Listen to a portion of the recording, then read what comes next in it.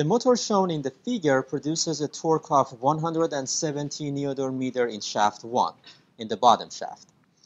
If the shear stress in both shafts must be limited to 67 megapascal, determine the minimum acceptable diameter that might be used in these two shafts. We want to use the same diameter for both shafts. Assume the shafts are having a solid circular cross-section area and the number of teeth in gears are given here.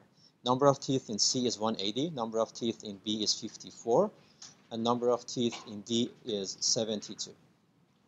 All right, torque in B, in gear B would be equal to torque in 1. They are connected together by shaft and that is equal to 170.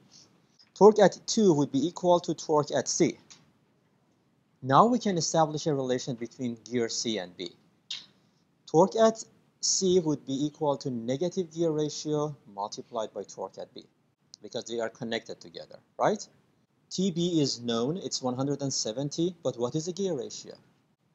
Is the gear ratio NC divided by NB or NB divided by NC?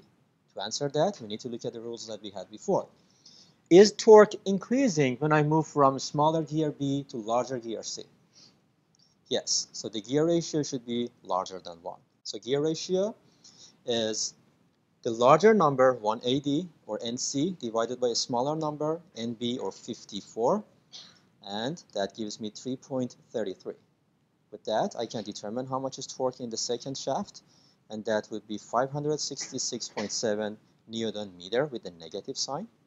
And now I have both torques. And which of these two torques is used for designing the shafts? The larger one is more critical because I want to have the same diameter for both shafts. So I'm going to consider T2. Now, I simply apply the design equation, which is shear stress, Tc over J, should be smaller than the allowable shear stress. Let's plug the values.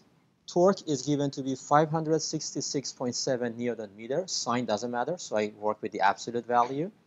But I need to convert that into newton millimeter by multiplying that by 1000. C would be half of diameter, and J is pi, diameter to the fourth, over 32. And this stress should be smaller than, the, than allowable stress, which is 67.